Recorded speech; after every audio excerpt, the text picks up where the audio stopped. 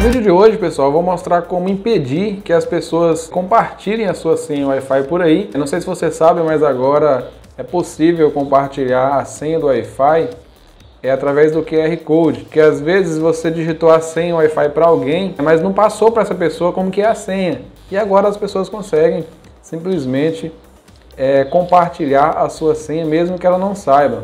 Aqui como você pode ver, estou conectado no meu Wi-Fi e tem a opção de código QR. A gente clica aqui e é possível compartilhar esse QR Code com uma pessoa, essa pessoa simplesmente vai ler esse código com a câmera e vai conseguir conectar no seu Wi-Fi. Então eu vou mostrar nesse vídeo como impedir que isso aconteça, que as pessoas saiam compartilhando sua senha por aí. Deixe o like no vídeo, se inscreva e ative as notificações. Para fazer isso, pessoal, você vai precisar acessar o seu roteador. Para isso você precisa do IP de acesso ao seu roteador, você pode fazer isso é, verificando na etiqueta do seu roteador qual é o IP de acesso ou aqui mesmo é, nas configurações, onde aparece a lista de Wi-Fi aqui, se você acessar as configurações, você consegue visualizar qual é o endereço IP é, do seu celular. Porém, para acessar o roteador, você precisa é, do IP inicial da rede. No meu caso, aqui o IP do celular é 192.168.0.100. Então, o IP inicial do roteador, para acessar ele, seria 92.168.0.1. Então, sempre o final aqui vai ser número 1. Geralmente, é isso que acontece. Se você tiver também, no meu caso aqui, como eu estou com o celular da Samsung, às vezes tem essa função aqui, ó, gerenciar roteador. Você já acessa diretamente o seu roteador, bastando digitar aí o login de acesso, que geralmente é admin. Se você não tem essa função de gerenciar roteador, é, também é possível, você pode acessar diretamente aí o seu Google Chrome ou qualquer navegador de internet e digitar aqui acima o endereço IP, como falei para vocês, o endereço IP inicial da rede. Dessa forma, ele vai acessar o roteador, vai pedir login de acesso. Esse login de acesso você também encontra na etiqueta do seu roteador, é, informando ali, geralmente é admin, tanto a senha como o usuário. E se você alterou, você vai colocar a senha que você definiu lá no seu roteador. Às vezes também pode ser o login admin e a senha em branco, então você vai estar verificando isso aí. Vai clicar em fazer login. No meu caso aqui eu estou com o roteador da TP-Link, mas isso pode ser feito em qualquer roteador, só vai mudar aqui o design, algumas definições, algumas palavras, mas a configuração é uma só. É só você procurar os termos aqui no seu roteador e você vai encontrar. A gente vai procurar aqui as configurações de wireless. No menu lateral esquerdo aqui, eu tenho aqui a configuração wireless e tem a opção aqui é filtrar MAC. A gente vai clicar nesse menu, você vai procurar sempre uma configuração aqui dentro de wireless relacionado a MAC. O que é MAC, pessoal? É um número, é um código que cada dispositivo possui um. Por exemplo, um celular, um notebook, um computador. Cada dispositivo possui um MAC diferente. Então, o que a gente precisa fazer? É, temos aqui duas opções de negar ou permitir. Por exemplo, se você marcar aqui a opção negar, todos os endereços MAC que você adicionar aqui vai ser negado, mesmo que a pessoa tiver a senha do Wi-Fi, ele não vai acessar o seu roteador, não vai ter acesso à internet. Porém, assim você teria que cadastrar aqui cada endereço MAC das pessoas que tentam acessar na sua rede.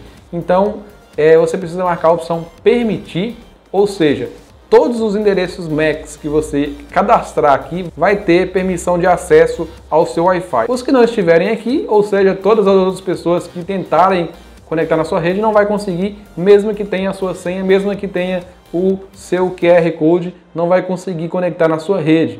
Então é só você marcar a opção permitir e você vai cadastrar aqui o seu endereço MAC.